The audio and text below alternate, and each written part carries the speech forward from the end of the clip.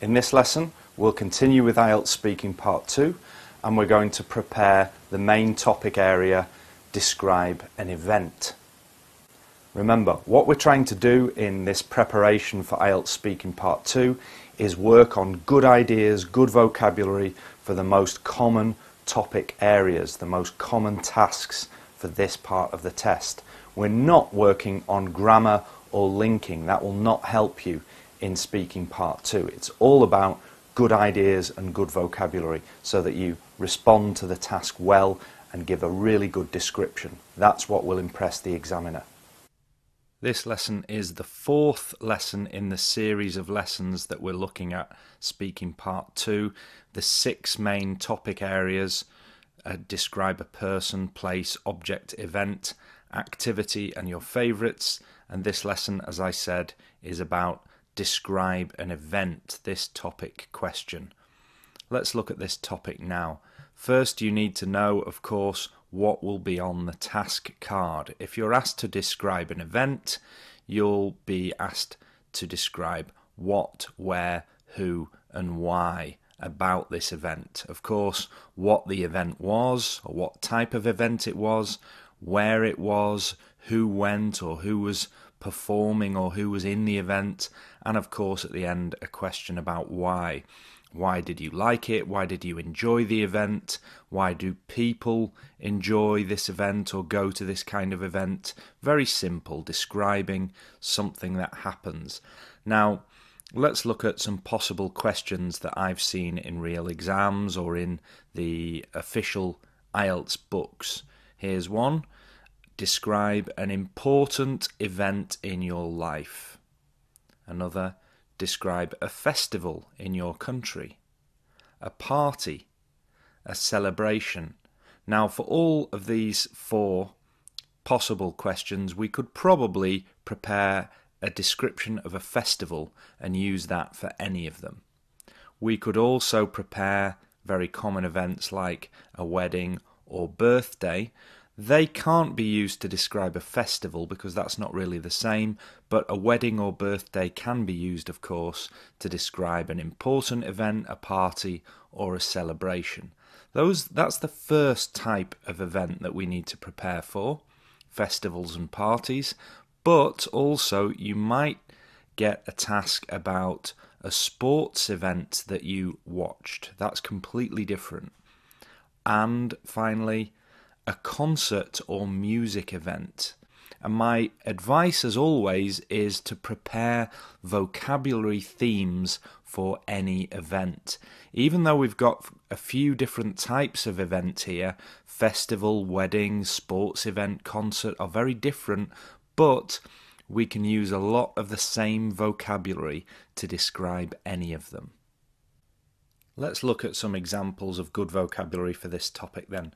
The first theme that I've chosen is to say that this was a special event.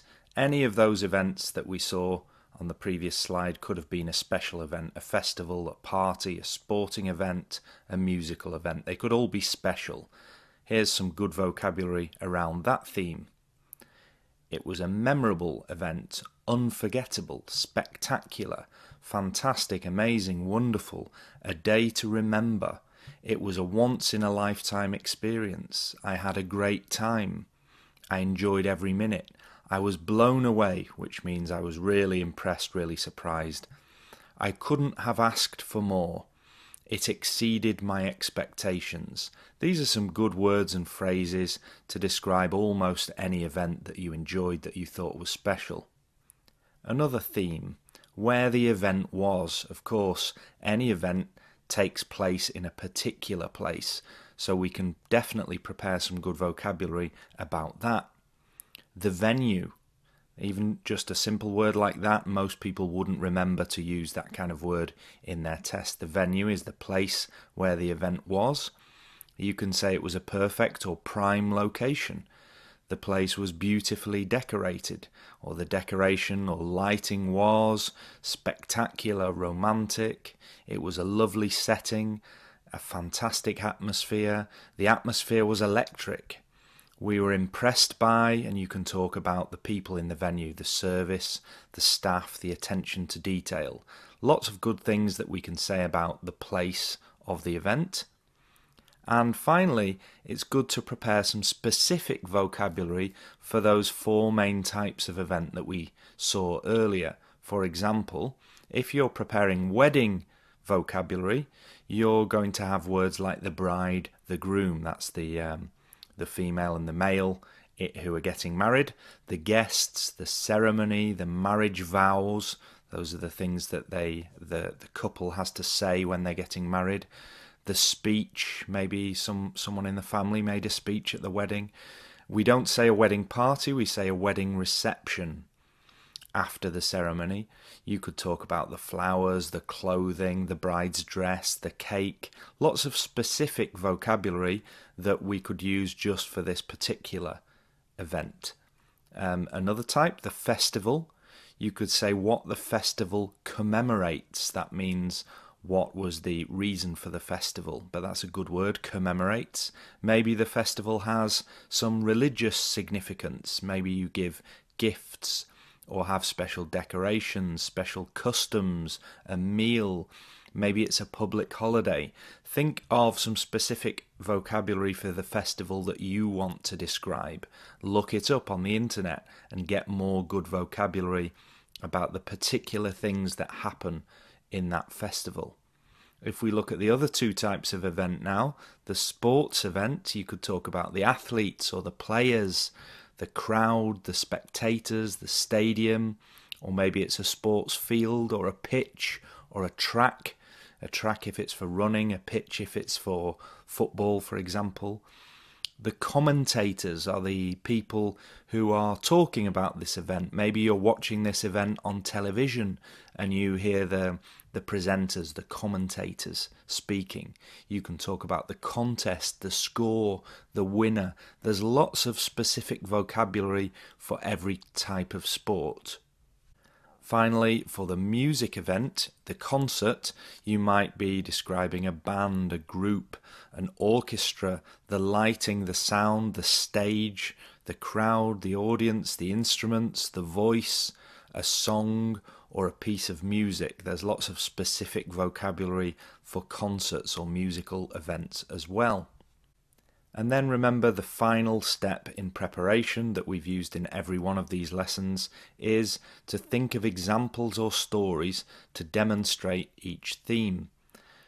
These examples will really depend on your festival or party or celebration, but here are some examples uh, to give you an idea of what you could prepare. If I say my sister's wedding was special, let's explain why with an example. I enjoyed the occasion because it was great to see my sister so happy on her big day.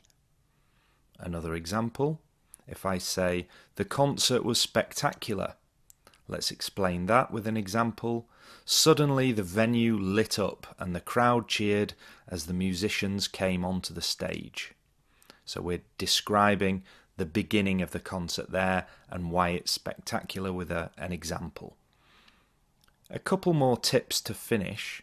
First, search on the internet for ideas about the particular events that you would choose. For this topic, you really need to choose your own events and it's best if they are real. If you're telling the truth, it's easier. So you need to search on the internet for your particular festival, uh, wedding, concert, or sporting event to get a few more ideas. Of course, you can use mine as well. Use my theme vocabulary, but add your own themes and vocabulary. And finally, describe what happened step by step from the beginning to the end of the event. For this topic, it's really useful to have a story that goes in order from the beginning to the end because events happen in that way, of course. You can describe step by step what happened, and it should be very easy for you to fill the two minutes with that kind of description. When you've prepared some good vocabulary, your themes, and your examples, you're ready to practice. And as I always say, you should record yourself because then you can write down what you said, you can analyze it, and you can try to improve your description. Make sure you're using as much good vocabulary as possible. And that brings us to our example questions for this lesson. I'm not going to do example questions about the festival and wedding because I've done those on my blog already, and so I'm going to attach those on the worksheet next to this video. Instead of that, we're going to focus on what I haven't done before on my free website, on my blog. I haven't done the sports and music events before. So I'm going to give you an example of each of those in the rest of this lesson. First, the sports event. Here's the question Describe a sports event that you enjoyed watching. You should say what event you watched, where you were, who you watched it with, and explain why you enjoyed watching it. Okay, I'm going to start the two minutes now. I'm going to describe what I think was the most memorable event in recent years that I remember, which was the London 2012 Olympic Games. This was a spectacular festival of sport over the course of several re- weeks here in uh, in England, and I think it was a once in a lifetime experience for us to have the Olympic Games in our own country.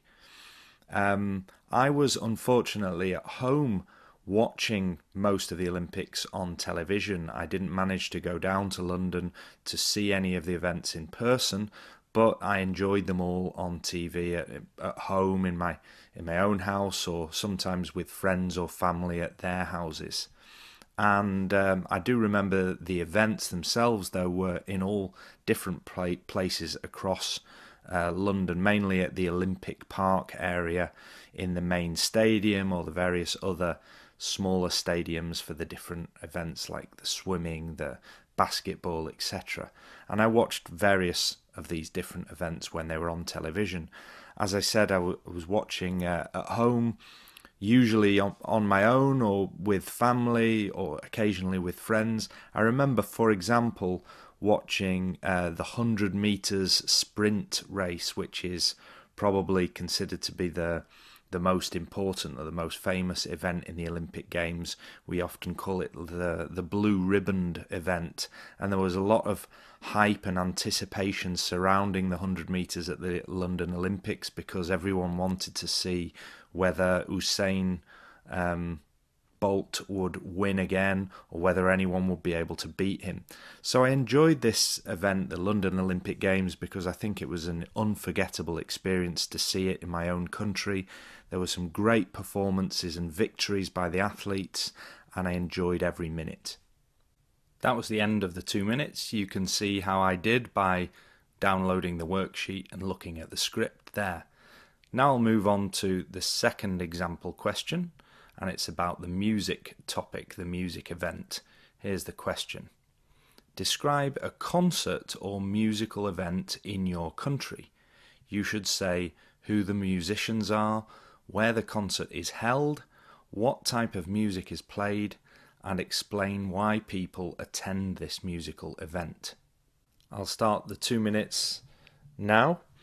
I'm going to describe a concert that I've actually been to that takes place here in Manchester, where I live. The musicians who perform this concert are classical musicians. It's an orchestra called the Halle Orchestra, which is obviously made up of the conductor, the string instruments like violins, the percussion, the woodwind instruments, the brass instruments, etc. And these musicians play in a concert hall, a venue called the Bridgewater Hall here in Manchester, which is a purpose built concert hall. Um, by which I mean that it was designed specifically for music. The sound acoustics are really good in the in the concert room, and um, the lighting, the stage, etc. was all they were all built specifically for music and the type of music that you would expect from um, an or- orchestra would normally be classical music. But this particular concert that I think they put on once a year is a bit more popular or mainstream because the orchestra plays theme music from famous films, the soundtracks from films, and most of them are very popular, well known Hollywood films like E.T., Indiana Jones, Jurassic Park, the James Bond films, that kind of thing. And this is why people attend because we all know, or most of us know, the music from those th- uh, from those films, and it's amazing to hear uh, a full orchestra playing these these uh, songs, these pieces of music in a live venue, and the um, the sound quality is fantastic. And to hear these pieces of music loud and live is really wonderful. I, for example, was particularly blown away by the ET soundtrack, which is a really, really emotional piece of music when you hear it, especially uh, in a live venue like that. I've stopped it there because that was two minutes. You can download the attached worksheet and see the script for that description as well. And you can analyze how good it was in terms of how much of the vocabulary I used. My focus is always on trying to use as many of the good words and phrases that I prepared as possible. In the next lesson, we'll do something similar for the topic describe an activity.